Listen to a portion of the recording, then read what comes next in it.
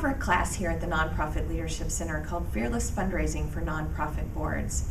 I've had an epiphany about this class. I don't think I like the title. Because we say fearless, if we're waiting for the fear to be gone, we may be waiting too long.